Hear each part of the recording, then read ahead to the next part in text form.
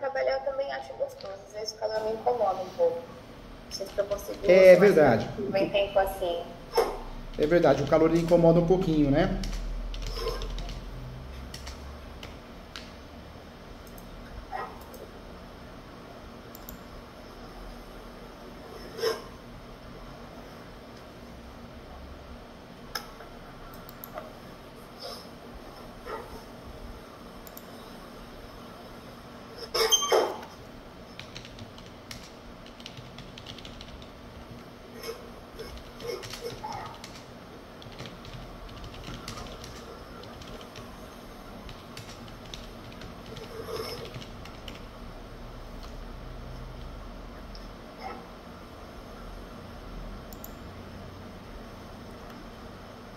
Júlio, já está faltando menos de dois minutos. Eu vou iniciar aqui, tá? Quando der 10 horas, eu jogo a vinheta e aí a gente inicia, tá bom? Tá bom.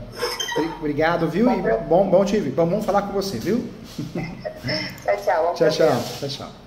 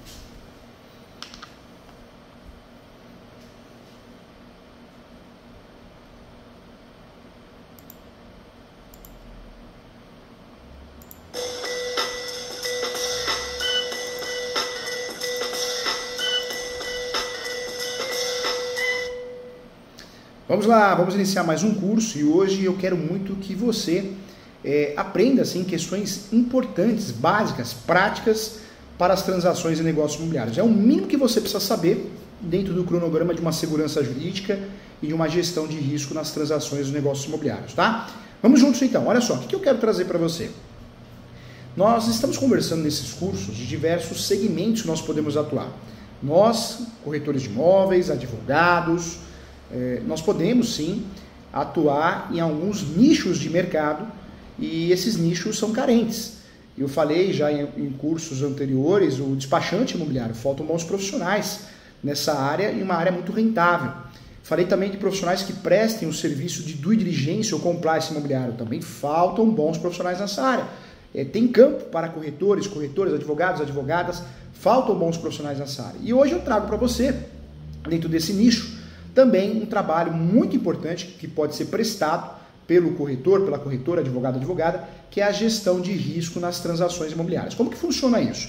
Então aquele corretor, aquela corretora, o mais estudioso, que gosta dessa parte documental, pode sim prestar esse serviço para colegas corretores, pessoa física, pessoa jurídica, é, pode prestar esse serviço para incorporadoras, pode prestar esse serviço também para contabilidade, pode, prestar esse serviço para escritórios de advocacia e o, também o advogado, a advogada também pode fazer isso também. O que é essa análise de gestão de risco? Então, é, você vai ser contratado como profissional, normalmente o advogado, a advogada, também o corretor e a corretora, é, para que você dê um parecer sobre os riscos dessa transação, esse negócio imobiliário. Vamos dividir os negócios imobiliários? Então nós vamos fazer parecer, hein? Gestão de risco é uma prestação de serviço de parecer. Você vai fazer um parecer. É, existem diversos pareceres, né? o corretor de imóveis pode fazer uma avaliação quanto vale o imóvel para, ser, para que seja vendido, quanto vale o aluguel daquele imóvel. Isso é avaliação, que é um outro serviço muito legal, muito interessante, que você pode prestar também dentro das suas obrigações, né? das suas prestações de serviço devidamente regulamentado.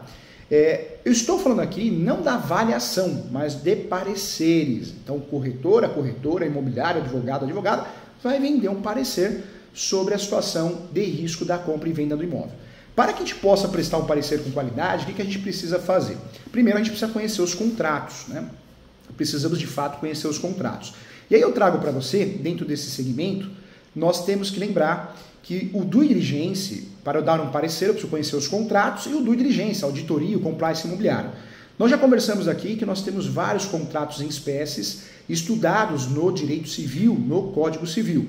No mundo imobiliário, que é um segmento do direito civil, mas possui conceitos e princípios próprios, nós temos contratos, como contratos imobiliários. Eu traria, traria como exemplo o contrato preliminar ou pré-contrato, que é um contrato para fechar negócio. É um contrato muito utilizado para fechar o negócio na transação imobiliária, seja uma transação imobiliária de locação, seja uma transação imobiliária de compra e venda. Temos o contrato preliminar, então, para fechar o negócio, que sempre vamos ter um segundo contrato.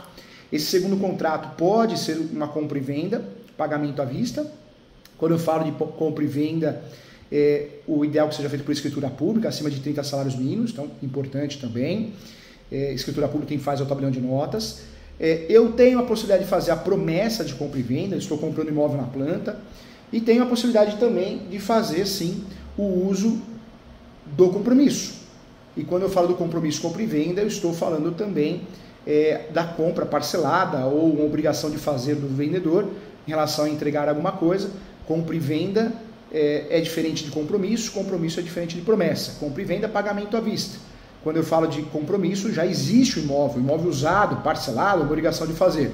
E quando eu falo, sim, da questão, uma questão muito importante, que é, de fato, a, a promessa é a compra e venda do imóvel na planta. A compra e venda de imóveis regulares, quando quem está me vendendo não é proprietário, não é proprietária, ela pode ocorrer, não tem nada de errado, não, não, não temos que falar em estelionato, não existe estelionato. Na verdade, o que acontece muito é que muitos corretores, corretoras e advogados advogadas acabam fazendo o contrato errado, porque aprende errado na graduação, aprende errado no curso técnico, é verdade. Aprende tudo é compra e venda, compra e venda, compra e venda, parece um robô. E não é compra e venda, né? Quando eu compro um imóvel regular, eu vendo um imóvel regular, eu deixo de lado a compra e venda e vou utilizar a seção de direitos possessórios e afins. Então é o contrato que deverá ser utilizado. Ponto importante também. Quando nós falamos aqui dos contratos de compra e venda, nós temos então várias espécies contratuais. Né? O título tem que bater com o objeto. Sessão de direitos possessórios e afins é o contrato que eu vou utilizar para a compra e venda de imóveis irregulares. É a cereja do bolo é a cláusula de soma de posse, que me permite fazer uso capião no meu nome, usando a posse de quem eu comprei, de 10 anos, 15 anos. Outro contrato pertinente também é a cessão de direitos possessórios é, e afins, né, que é um contrato muito utilizado nos imóveis regulares, mas nós temos a versão da cessão que é a cessão de direitos hereditários. É, a cessão de direitos hereditários é um contrato também muito importante, é um contrato que nos interessa muito, porque é a compra e venda de herança. Como que eu compro herança, direitos de herança do herdeiro? Cessão de direitos hereditários. O ideal é que esse contrato seja feito através da escritura pública para que tenha a sua validade e também, além disso, o ideal também seja feito com a anuência de todos os herdeiros. Então, cuidado, olha quantas transações imobiliárias. Então, para trabalhar com gestão de risco nas transações de negócios imobiliários, quem pode trabalhar com isso? O corretor, a corretora, o advogado, a advogada. Que tipo de serviço é esse? A prestação de um serviço de um parecer. Quanto é cobrado nesse parecer? Depende de cada profissional. O valor mínimo desse parecer de gestão de risco é equivalente a pelo menos 0,5 do valor do negócio, limitado até dois salários mínimos. Então, dois salários mínimos até 0,5 do valor do negócio. É o valor cobrado de mercado. É, eu posso prestar esse serviço de gestão de risco para imobiliárias, para escritórios de advocacias que não prestem serviço, seja de outras áreas. Eu posso prestar esse serviço de gestão de risco nas transações imobiliárias também para incorporadores, construtores, posso prestar para loteadores e posso prestar também para o Poder Judiciário. É, gestão de risco também pode ser entregue numa ação judicial através de uma nomeação como perito. Né? Então eu posso entregar também a gestão de risco, o estudo prévio, tá? Para conhecer a gestão de risco e para prestar um parecer com qualidade, com eficiência, eu preciso sim conhecer os contratos imobiliários. Então, Compra e venda, pagamento à vista, ok? Tem que ser feito por escritura pública, artigo 108 do Código Civil. Toda transação imobiliária acima de 30 salários mínimos deve ser feita por escritura pública. Pré-contrato, contrato preliminar, contrato facultativo é o contrato para fechar negócio. Sempre nós vamos ter um segundo contrato. Se eu estou comprando um imóvel irregular, sessão de direitos possessórios e afins, com cláusula de posse. Se eu estou comprando um, um direito hereditário, um, um direito de herança, porque a parte não tem condições, não quer fazer inventário, sessão de direitos hereditários. Quando eu compro, né, de fato, quando eu compro é, um imóvel na planta, promessa. Promessa de compra e venda. Quando eu compro um imóvel pronto, mas existe uma obrigação de fazer, ou por parte do vendedor ou do comprador em pagar, compromisso compra e venda. Fique atento, porque nós temos também é, o contrato de alienação fiduciária que nos interessa muito. E esse contrato tem um outro regulamento, tem uma lei específica sobre isso, tá? Então é importante também. Toda transação imobiliária, então eu preciso, para dar um parecer, conhecer o contrato, se o contrato está correto, de acordo, se cumpriu requisitos, e agora você sabe, o básico de forma eficiente, de forma prática, didática. Mas eu lembro a você também que quem presta o serviço de risco ou gestão de risco nas transações de negócios imobiliários também tem que praticar o due diligência. Olha como uma coisa liga a outra, né? são serviços conexos. Então, toda vez que você for fazer uma transação imobiliária, for contratado para dar um parecer, seja advogado, advogada, corretor, corretora imobiliária, o que é importante você fazer? É, também, além do parecer, que chama gestão de risco nas transações imobiliárias, você pode entregar diversos documentos anexos e entre, esses documentos, os documentos do due diligence antes da transação imobiliária ou compliance imobiliário, que é o serviço prestado após. Due diligence, vamos lá. Então, primeira certidão que eu vou precisar para fazer uma transação imobiliária segura, hein? É a certidão de propriedade atualizada. Eu preciso saber quem é dono se de fato está me vendendo a propriedade, né? Ou se não é dono, não pode me vender a propriedade. Então, certidão de propriedade atualizada, matrícula, ok? Matrícula de 76, transcrição. Quando nós falamos aqui é, de outras certidões, nós vamos para a segunda certidão. E aí a segunda certidão que nós precisamos necessariamente, obrigatoriamente solicitar, é a certidão, né, além da certidão de matrícula ou transcrição, é, que pode também, se eu quiser solicitar uma certidão vintenária ou é, quinzenária, também posso, tá? Lembrando que nós temos vários nomes diferentes de matrícula que entregam o mesmo resultado. Se eu solicito uma certidão de matrícula no cartório de imóveis competente, a certidão de matrícula é também chamada de certidão de inteiro teor ou certidão de registro, que é aquela que conta a história do imóvel por meio do texto integral da matrícula do imóvel, com todos os seus atos de registro e averbação praticados naquela matrícula. Né? É, essa certidão, gente, ela é exigida para a lavratura de escrituras ou contratos bancários, é, pois é por meio dela que se sabe seguramente a identificação do imóvel e também do atual proprietário. Também é importante lembrar, gente, que a lei permitiu que essa certidão, é, na verdade, ela foi criada em 1976, portanto, ela atende a registros lavrados após o ano da sanção da Lei 6.573. Outro nome que é dado também é a certidão de transcrição, que é a certidão que se refere também ao imóvel. Né? Então, é, é, eu, eu, sempre falo, uso como exemplo didático, SIC e CPF. É a mesma coisa, só que nós mudamos a nomenclatura, matrícula e transcrição. Então, a certidão, é, ela existe, a certidão de propriedade, e tanto a matrícula como a transcrição são documentos que, de fato, são considerados certidão de propriedade. Tá? A certidão de transcrição ela se refere ao imóvel que está registrado no sistema anterior ao da transcrição, é, na transcrição, na verdade, e não foi praticado nenhum ato relativo a ele após o ano de 1976, quando a Lei 6.015 entrou em vigor. Então ela pode ser solicitada ainda hoje, a partir da movimentação, quando eu faço uma movimentação a partir de 76, obrigatoriamente o cartório abre uma matrícula. É, tem muita gente falando, ah, só pode fazer os capião é, se tem matrícula na transcrição. Nada a ver, não sei de onde tiraram isso. Ah, só pode fazer ação petitória, reivindicatória se tiver matrícula. Transcrição é matrícula, só que é matrícula antiga, no formato antigo. Né? Então tem muito boato bobo, hein? É, outra certidão também que faz a vez da certidão de propriedade é a certidão quinzenária ou vintenária. Né? A certidão quinzenária ou vintenária, ela é a certidão de propriedade, ela aprova a propriedade, só que ela traz no seu contexto também é, mostra o fator histórico do imóvel, por 15 ou 20 anos, respectivamente. Né? Por meio dessa certidão é possível saber toda a cadeia dominical do imóvel e todas as mudanças que podem ser é, ou podem ter ocorrido de fato ao longo do período solicitado. É, se por meio dessa certidão o imóvel tenha sido objeto de matrícula já encerrada, é, também devem ser expedidas certidões de inteiro teor, que é o resumo né, da situação, até chegar na matrícula atual, é, dando ao interessado, quando solicita essa certidão, todas as informações sobre a cadeia dominical. Outra certidão também que faz a vez é a chamada certidão de ônus e ações reais. Né?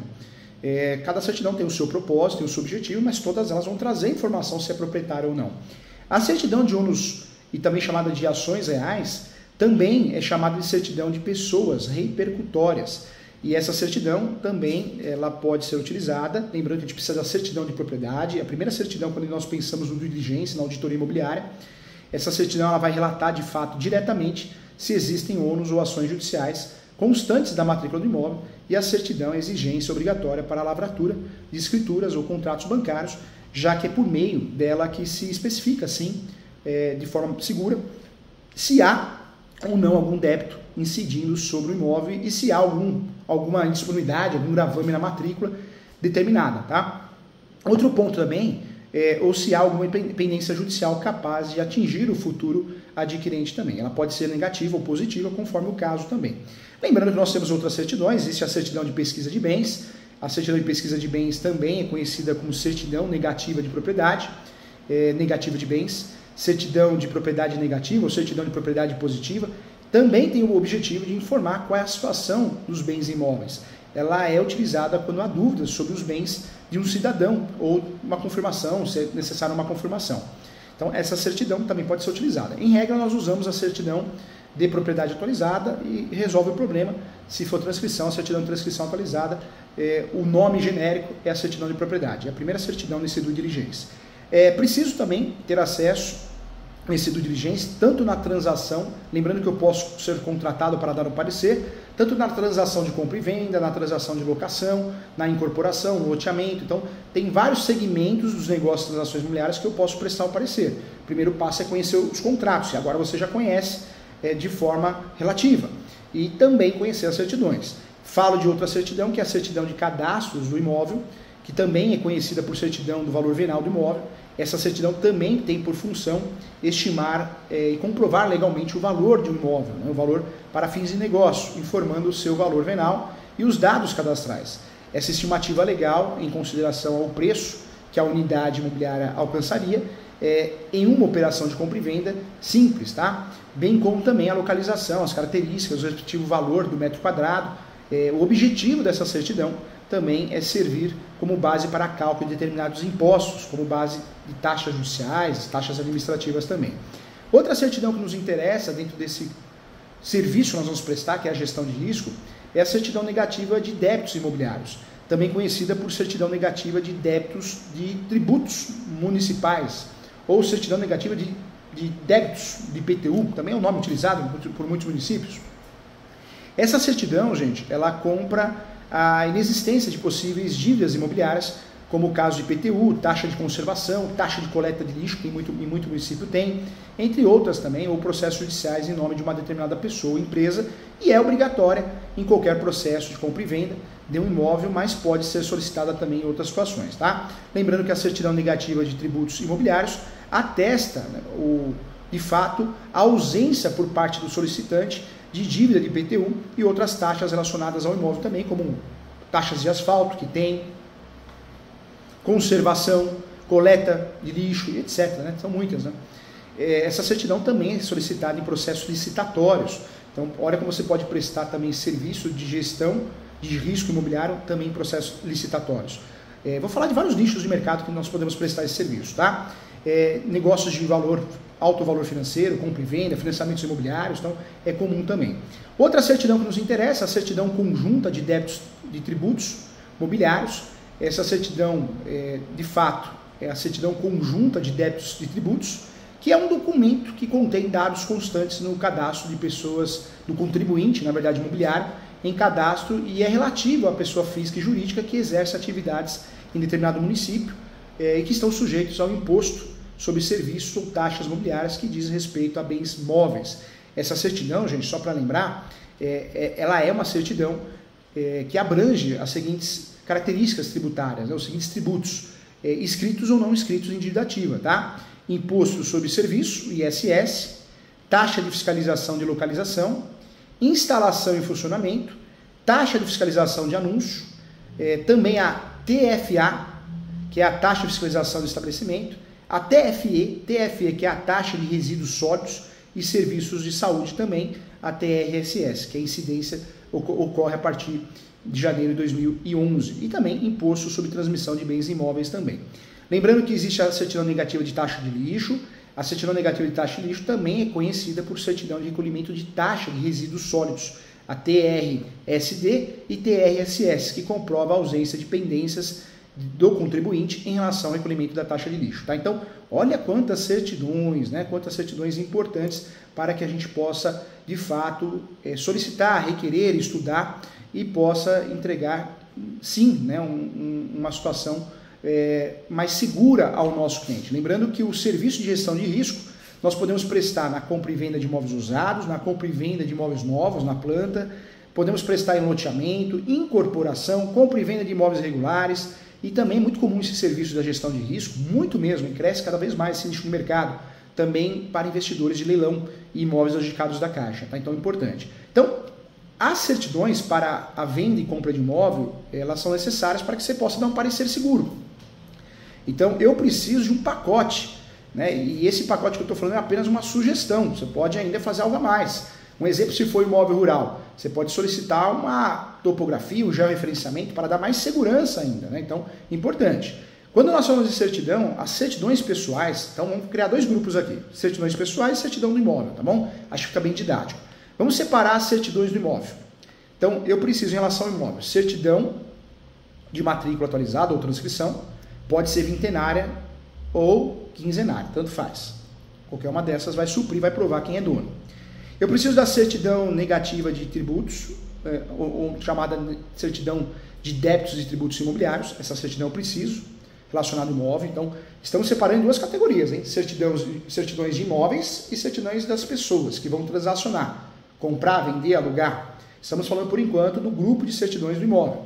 Então, a primeira, transcrição, matrícula, vintenária ou quinzenária, tanto faz. Segunda certidão do imóvel, segunda certidão do imóvel negativa de débitos e tributos imobiliários. Terceira, certidão do valor venal do imóvel, ou dados cadastrais também, e certidão de taxa de lixo também. Em relação à certidão das pessoas, muita atenção, hein? Em relação à certidão para a venda de imóvel, de, de, de imóvel e compra, né? De imóvel. Vamos falar aqui em relação às pessoas. Certidão de protesto da localidade do imóvel onde está localizado a moradia do vendedor, da vendedora, dos vendedores. Então, protesto 1. Um, em relação às pessoas, protesto. Cuidado que protesto, eu posso ter vários cartórios de protesto naquela região, São Paulo é um grande exemplo disso. E também tem que ser solicitada a certidão de protesto onde resida o vendedor, o comprador, o locador, o locatário e aonde esteja localizado o imóvel. Então, protesto, cuidado, não é uma, são várias, depende do contexto, para que eu saiba quantas vão ser. É, certidões trabalhistas, também. Cuidado, tem ações trabalhistas, tem execução trabalhista, é pegadinha. Distribuidor civil da esfera federal, distribuidor civil da esfera é, estadual, as chamadas ações cíveis, né, executivas fiscais, também é necessário.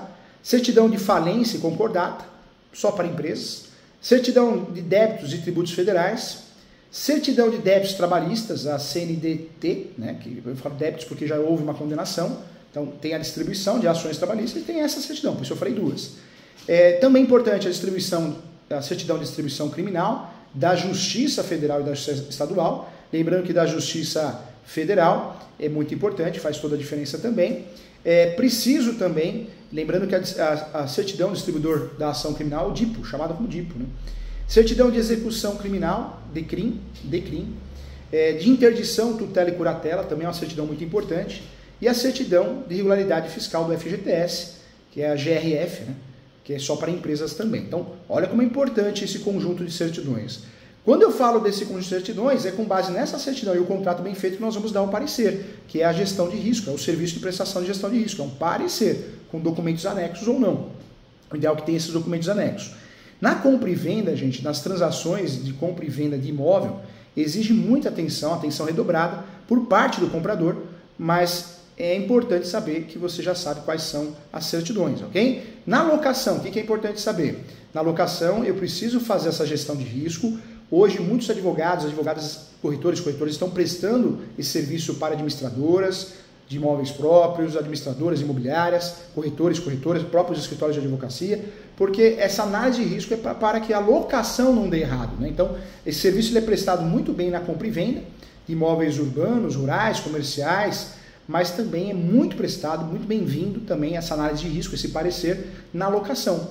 É, inclusive, o, o escritório está prestando serviço para uma grande seguradora, já faz alguns anos. É, Porto Seguro, Itaú, Marítima, é, Liberty e várias, todas as seguradoras preferem terceirizar. Então, quando vão vender, né, quando vão vender o produto, calção, né, o, o, é, o seguro fiança, que é o nome mais utilizado, é, normalmente essa empresa terceirizada, que é um escritório de advocacia, um escritório, um, um, ou o próprio corretor que presta serviço, corretor, corretora, ele entrega isso para a seguradora e lá paga por esse serviço, normalmente um salário mínimo, mas ah, professor, é muito pouco. Não é. Imagina a demanda que um banco, que uma instituição, que uma seguradora entrega para você. Então, também nós podemos vender esse serviço, também um nicho de mercado para seguradoras e instituições financeiras também, sejam médias, grandes ou pequenas, tá? Inclusive bancos digitais também. Então, importante. Em relação ao cartório de imóveis, eu já falei que o cartório é, de imóveis é o cartório competente, sempre. Em relação ao cartório de notas, vale a pena também lembrar que o cartório de notas também é conhecido por tabelionato de notas, que é a repartição responsável por garantir que os atos jurídicos se tornem autênticos, seguros e públicos, e nesse lugar que você fará a escritura também, é, já que o tabelão de notas é profissional do direito, com fé pública, para autenticar fatos e escrever qualquer tipo de contrato ou documento, que é ele ou um dos seus escreventes que fará a escritura baseada nos documentos apresentados. Tá? Em relação ao cartório de imóveis, você já sabe, o cartório de imóveis é a repartição responsável por atribuir ao imóvel a sua correta localização, descrição.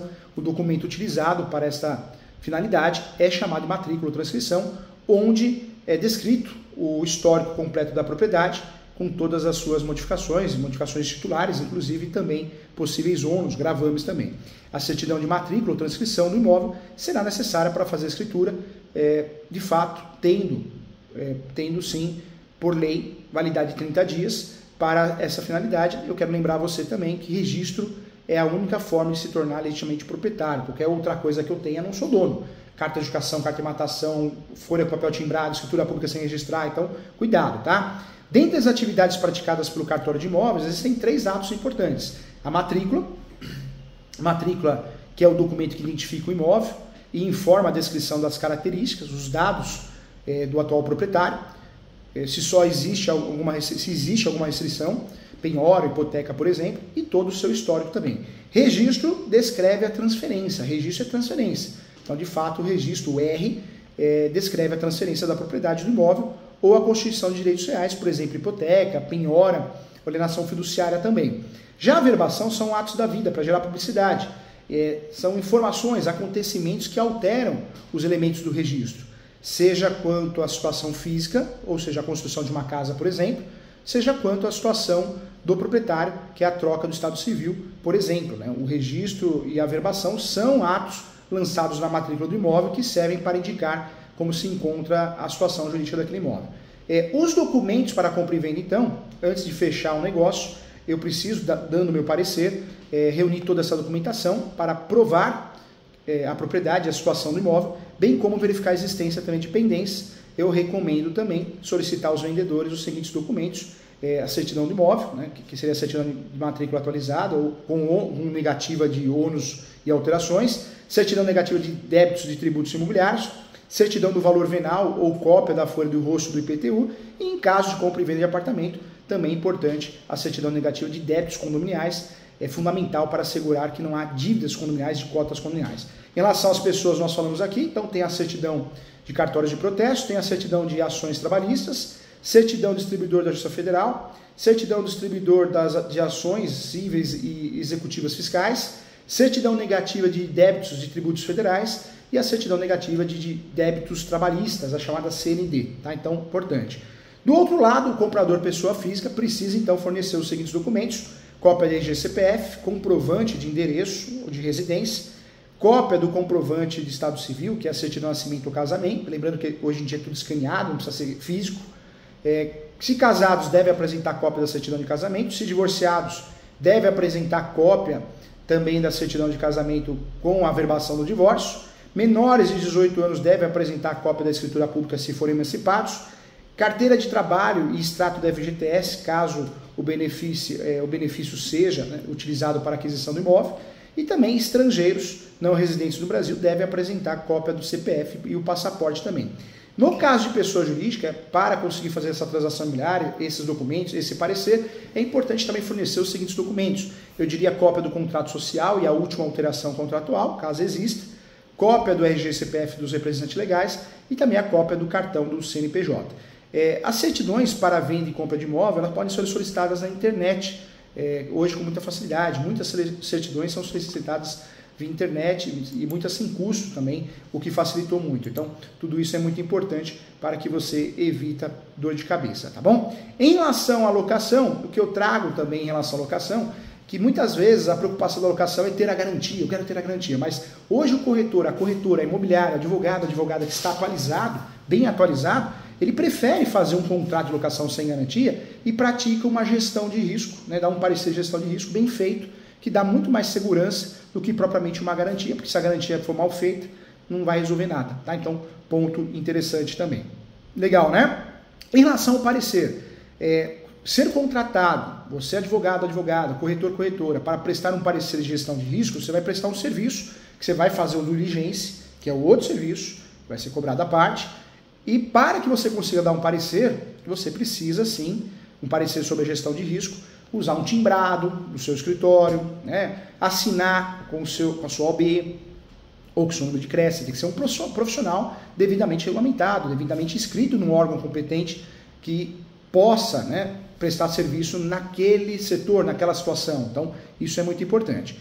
Em relação ao parecer jurídico, é, nós temos o parecer jurídico, que é feito exclusivamente por profissionais do direito, mas a, o parecer de gestão de risco pode ser feito por corretores de imóveis também. Como que eu vou fazer então o parecer, né? Esse parecer de gestão de risco. Então, eu vou trazer para você é, como fazer. Começa com o título, parecer de gestão de risco. É uma análise, é, uma análise especializada, elaborada por juristas e particulares, no caso corretores também, que exerce a função de um consultor.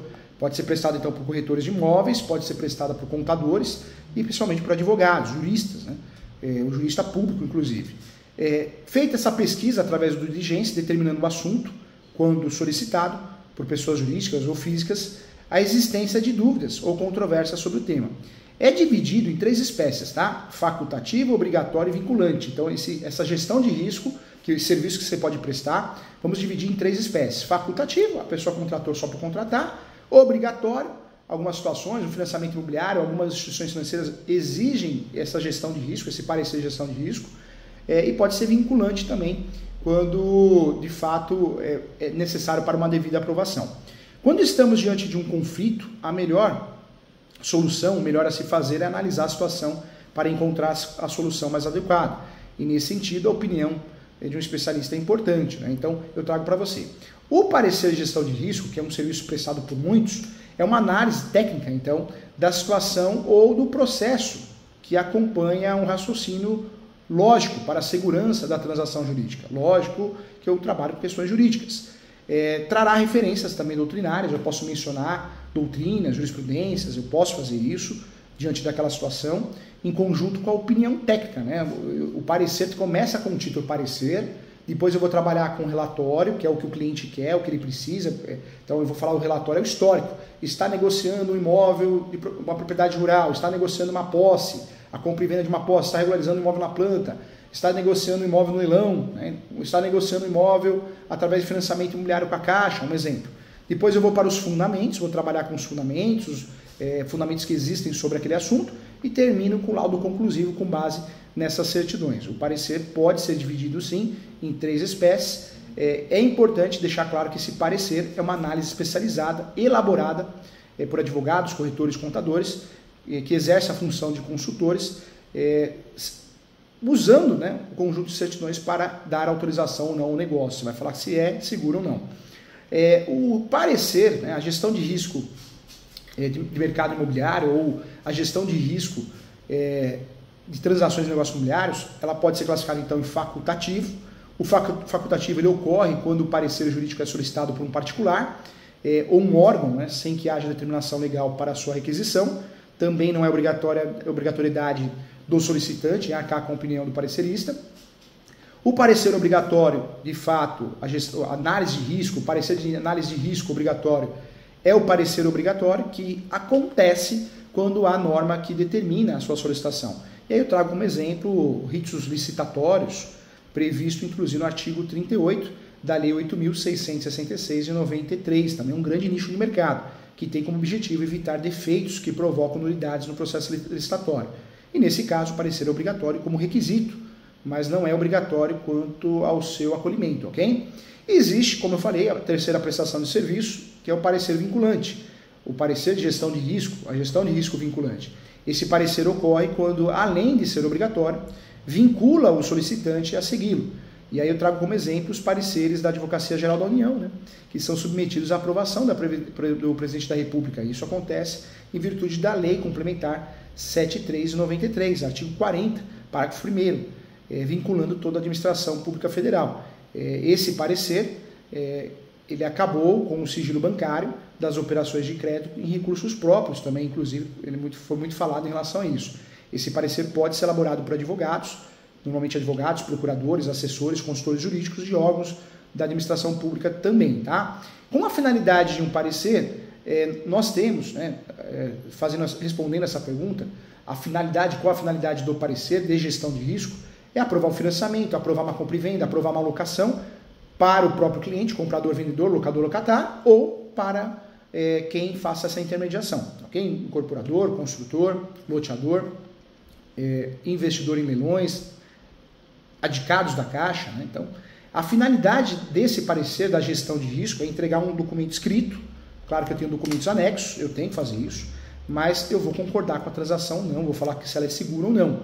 Eu vou analisar todos os fatos, efeitos, normas e validades jurídicas é, do caso concreto e, por fim, irá apresentar uma solução, um panorama diante dessa questão. Para compreender melhor, é, é importante, em 2017, a, a, lá na reforma trabalhista, né, lá no ramo do direito do trabalho, com a entrada da lei em vigor, questionou-se muito sobre a, a aplicabilidade é, dos contratos vigentes. Então, muitos pareceres técnicos foram feitos nesse sentido, também foi um serviço, outro ramo, outro, mas é importante você saber também. Tá? Então, um exemplo de parecer técnico é isso. É, é, no caso do direito imobiliário, nós temos o parecer de gestão de risco. É, o que deve conter esse parecer de gestão de risco, então? Então, o parecer de gestão de risco deve ser o mais completo possível, por isso tem que ter título, parecer jurídico, preferencialmente de forma centralizada ao documento, que pode ser acrescido ou não de um número para controle e organização do parecerista, seja o advogado, advogado, corretor, corretora. Por exemplo, parecer número 56, parecer número 57, 15, 15 é, do 5 de 2023, um exemplo. Tá? Então, eu vou colocar data, se eu quiser. É importante quem solicitou, então o endereçamento com o nome dos solicitantes, eu vou fazer isso. O assunto, qual o, centra, é, o tema central do parecer de gestão de risco, o porquê, se é compra e venda, se é locação, se é loteamento, é, se é incorporação. Então eu vou fazer isso. É, no exemplo né, que eu dei em relação à trabalhista, eu, eu, usa, eu usava lá a aplicabilidade da modernização trabalhista. Né? O escritório usava isso. Então é muito comum. É, em relação a incorporadoras, é muito comum também.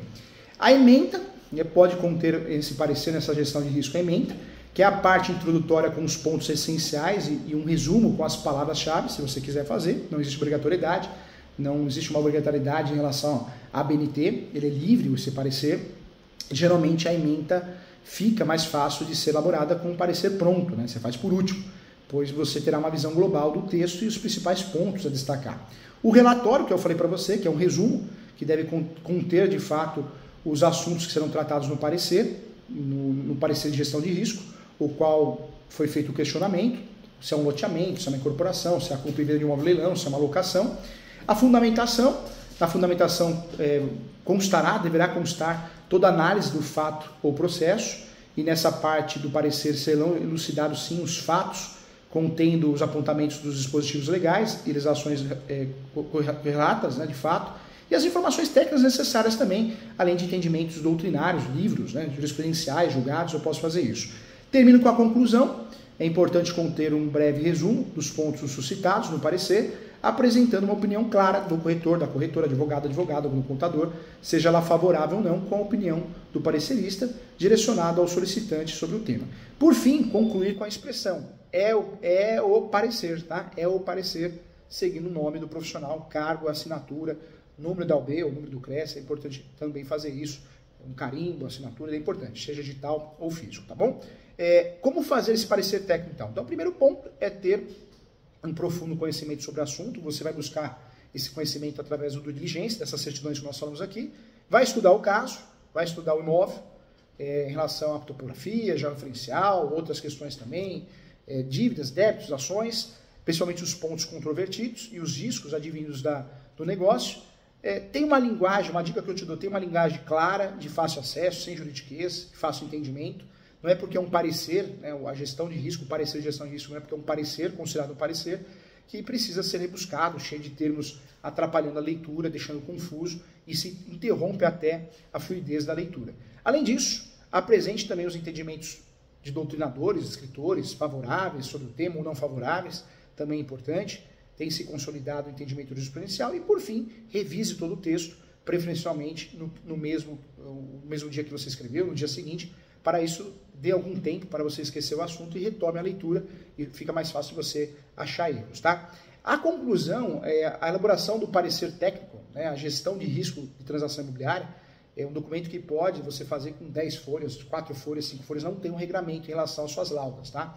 A elaboração desse parecer técnico, dessa gestão de risco, é de grande responsabilidade, pois o objetivo é elucidar o interesse e deverá servir com base para tomar decisão até de uma ação judicial. Tá? Então, dessa forma, eu trago para você que esse parecer de gestão de risco, essa análise de gestão de risco, é importante, é, um, tem que ser feita uma, uma apuração, tem que ser apurada, analisada de forma técnica a situação do caso concreto. Tá? Em relação a algumas perguntas e respostas, então o que é o parecer de gestão de risco? Cobrado um salário mínimo até 0,5% do valor do negócio, alguns casos até um 0,1% do valor do negócio, 1% do valor do negócio, depende de onde você vai atuar. Quem são os nossos clientes? Incorporadoras, construtores, loteadores, investidores em leilão, bancos, instituições financeiras, seguradoras, eh, consórcios, né? pessoa física, pessoa jurídica, escritórios de advocacia que atuam em outros ramos, eh, imobiliárias, né? Então, é, também é, holds, holds, pessoas que têm lá a hold, têm funcionários administrando seus próprios bens, mas preferem terceirizar esse serviço por questão de segurança. Então, importante aqui. Qual a função da análise de risco da transação imobiliária? A função é trazer clareza sobre determinado assunto ou processo, é, pois vai analisar os fatos, efeitos, normas e validades jurídicas do caso concreto por fim, irá apresentar uma solução, um panorama para essa questão. É, como elaborar, então, essa, esse parecer técnico, é, essa gestão de risco, como fazer? Você vai solicitar vários documentos que eu falei, várias certidões, o do diligência, outro serviço, e vai dar o parecer por último. Então, você vai perguntar, você quer que faça o do diligência, mas você quer uma análise de risco também? Isso é importante. Qual a diferença da análise de risco e do, do diligência? Do diligência é certidões, é um serviço de prestar diligência, certidões. O despachante mulher só faz isso. Já o parecer é um outro serviço chamado análise de risco, análise técnica de risco, tá? Então, importante aqui. Agora sim, acho que você já conhece mais um nicho no mercado imobiliário. Você que é corretor, corretora, pode prestar esse serviço. Você que é advogado, advogado, mais um serviço que você pode prestar no seu escritório. Você que é pessoa física, também você já sabe como funciona. Você que é pessoa jurídica, você que é investidor, você que é leigo. Então, é pra, para ajudar a todos, tá? Com muito carinho. Quero agradecer a todos que estão assistindo, a Condesa, o o, o Cartola Alexandre né, também. Quero agradecer a todos por, por acompanhar esse curso com muito carinho. Tem perguntas? Vamos lá, vamos responder as perguntas. Deixa eu fazer um convite especial, gente. Você que quer estudar direito imobiliário de verdade, foco na prática, tem a minha pós-graduação, é, essa pós é online. Você entra no site www.portaliso.com.br, você tem acesso à minha pós-graduação, custa um valor, acho que 958, se eu não me engano, menos de mil reais, uma pós com realmente conteúdo incrível, focado na prática nas transações imobiliárias. Tem muito advogado, advogada, cartorário, procurador, promotor, é, muito corretor, corretora de imóveis fazendo essa pós. Tá? Então, pós-direito imobiliário e transações imobiliárias, entra no site www.portaleso.com.br. Vários cursos gratuitos, vários cursos à sua disposição, é, também várias pós-graduações, eu também sou coordenador da pós-direito civil, tem a pós de transações imobiliárias, que é voltada ao direito notarial e registral, tem a pós de regularização de imóveis, então, muito legal, tá? Outros ramos também, quem atua no direito do trabalho, quem atua no direito previdenciário, criminal, tem pós lá empresarial também para você. Quem quiser entrar em contato comigo, entre em contato, professor presta serviço de mentoria para ajudar advogados e advogadas a corrigir peças, recursos, a treinar para uma audiência. Eu ajudo muito, tá? Corretores, corretoras. Quem quiser marcar uma mentoria, advogado, advogado quer marcar uma mentoria comigo, é, para discutir assuntos, casos práticos ou uma consulta, entre em contato pelo WhatsApp do escritório. O meu WhatsApp é o 11 9 7685 11, DDD 11 97685 3891. O telefone fixo é o 2061 5649.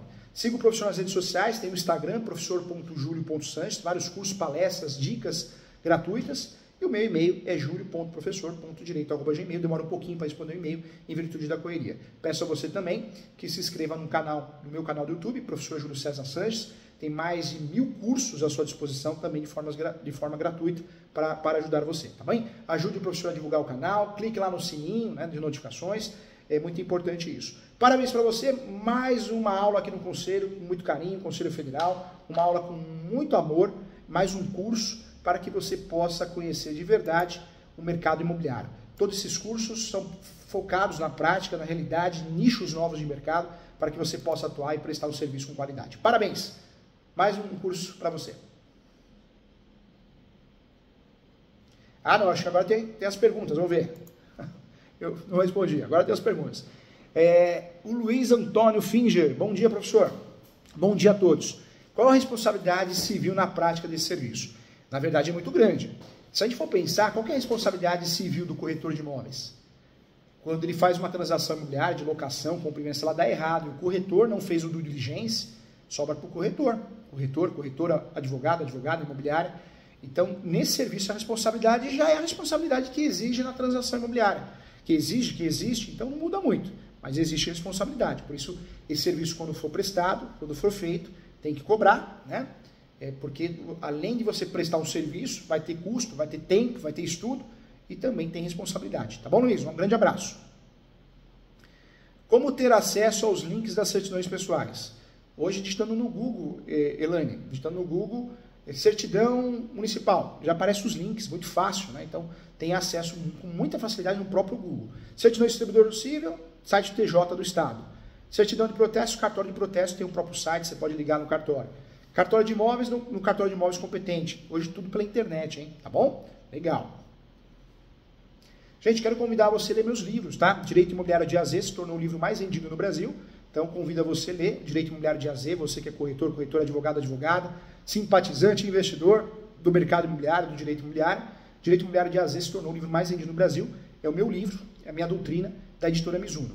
Quem quiser conhecer um pouquinho mais de direito civil, tem o meu livro Direito Civil, Manual Doutrinário e Jurisprudencial. E quem quer conhecer mais sobre regularização de imóveis, transações imobiliárias, tem o meu livro Uso Capião, fantástico, capa vermelha, tem o livro Uso Capião Extrajudicial, tem um livro de contratos, quem quer se aprofundar também.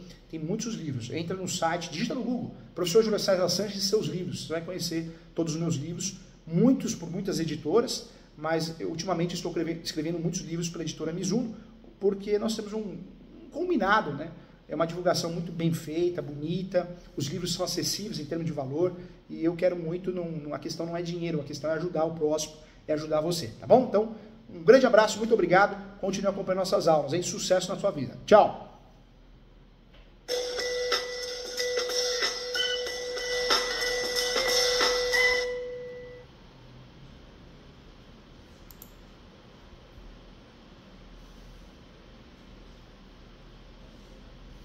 Certinho, Júlio. Obrigado, mais um curso. Esse foi legal, hein? Esse foi bom. Deu tudo certo, a audiência foi bem alta e eles continuam perguntando, né? Olha que legal. É, vamos, vamos assim, vamos assim para ajudar todo mundo, né? É isso. Um abração. Bom dia para você. Bom dia Tchau. também. Tchau.